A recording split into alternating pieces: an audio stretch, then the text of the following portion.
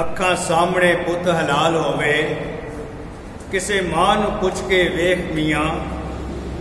ਕਿਵੇਂ ਚਮਕ ਸਰੀਰ ਤੇ ਵੱਜਦੀ ਏ, ਜਦੋਂ ਸੜਨ ਨਸੀਬ ਤੇ ਲੇਖ ਮੀਆਂ,